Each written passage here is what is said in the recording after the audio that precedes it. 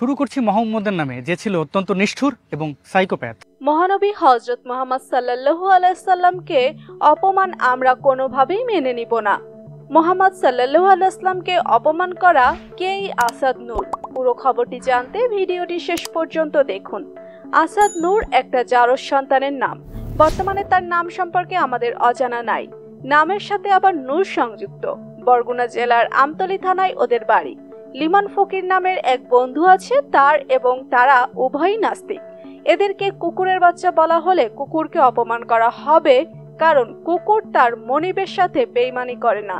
আসলে এরা মুসলমানদের নাম ধারণকারী, ইসলামের শত্রু।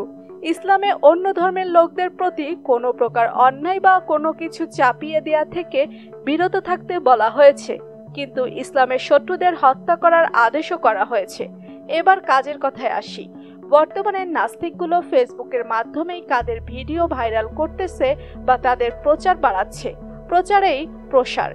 কথাটির সত্যতা কার্যকর করছেন নাস্তিকরা। মুসলমানরা পিছিয়ে আছি কেন? কারণ একটাই, আমাদের মধ্যে কিছু ফেসবুক স্পাম গ্রুপের সদস্য যখন কেউ সত্যের বাণী কিংবা কোরআন, হাদিসের কথা, প্রচার অথবা শিক্ষামূলক কথা নিয়ে প্রচার শুরু করেন, তখনই তাকে ডিজেবল করা হয়। অপরদিকে নাস্তিকদের পোস্ট অথবা ভিডিও শেয়ার করে চলি, নয়তো তাদের পোস্টে লাইক, কমেন্ট দিয়ে ভরে দেই।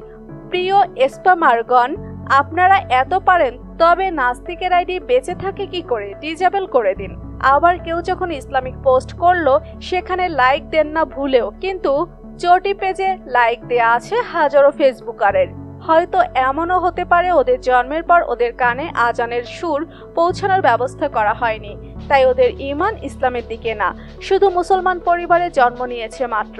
এজন্য অবশ্যই দোষারোপ করব তাদের বাবা মাকে এসব ইসলামের শত্রুদের শাস্তির দাবি জানিয়ে প্রত্যেক মসজিদ পাড়া মহল্লায় বিক্ষোভ শুরু করা হোক মুসলমান পুরুষদের পক্ষ থেকে। নিশ্চয়ই ইসলামের শত্রুর ধ্বংস নিকটই ইনশাল্লাহ সর্বোপরি প্রধান কথা হলো, এ নাস্তিকদের দেখা মাত্রই আইনের হাতে তুলে দেয়া হোক। আর আমাদের প্রিয় নবী মোহাম্মদ সাল্লাল্লাহু আলাইসলামকে নিয়ে এত বাজে বাজে কথা বলেছেন, যা শুনলে আপনার রক্ত গরম হয়ে যাবে।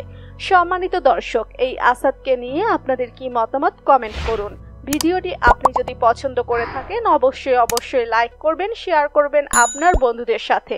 ধন্যবাদ সবাইকে।